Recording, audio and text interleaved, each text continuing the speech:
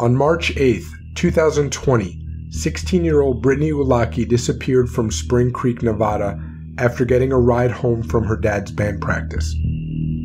She would accompany her dad several Sundays a month and act as the band's critic to let all the adults know what was working and what wasn't.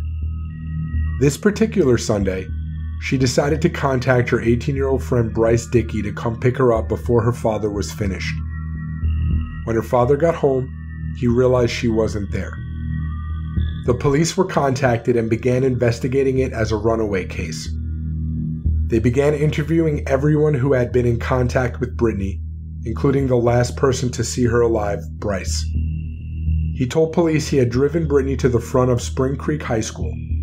She then proceeded to get out of his car and into the vehicle of a tall man wearing a cowboy hat driving a green Ford F 150 truck. He even stated that it had two stickers on the left rear window and a toolbox in the truck's bed. At that point, the search was on for the vehicle being driven by a man that fit his description. A candlelight vigil was held for Brittney, which all of her friends, including Bryce, would attend. He embraced her mother and acted as sad as anyone close to a missing person would be expected to act in hindsight now it makes me sick because i should have you know what i mean? Because he saw me and he dropped his head and he started to cry. And i hugged him. And i said it's okay bryce you're a good kid. I just know.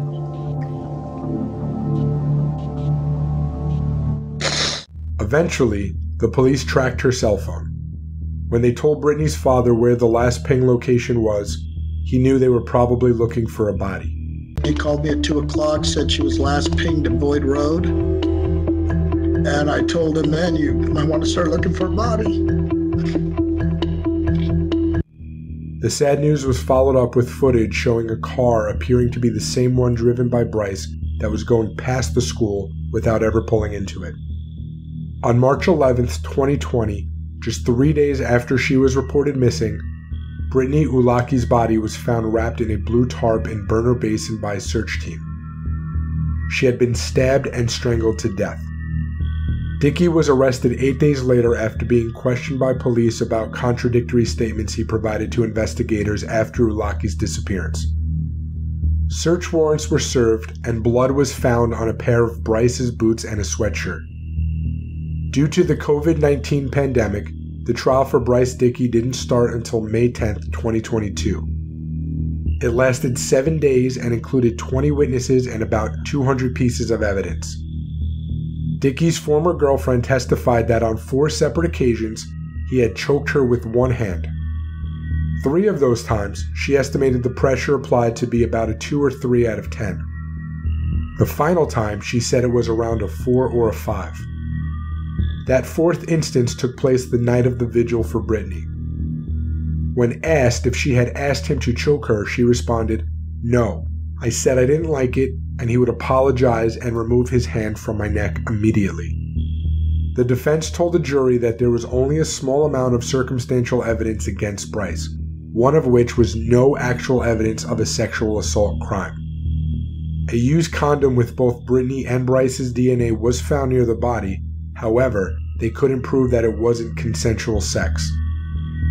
The assistant medical examiner, Dr. Julie Schrader, testified that she saw no sign of trauma related to sexual assault in her autopsy of Brittney.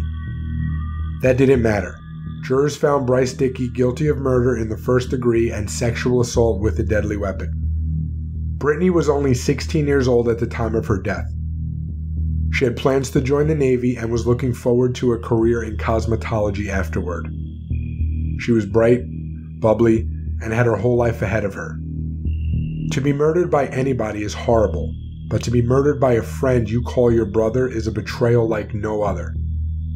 Bryce took advantage of Brittney's trust and the trust her parents had in him to take her home safely. She would say, Hey, mom, you know, there's a group of us doing this and this and this and I want to go. And I was like, no, Brittney, I don't, I don't. And she's like, mom, Bryce is going to be the one that drives me. And I'd say, oh, okay, then you could go.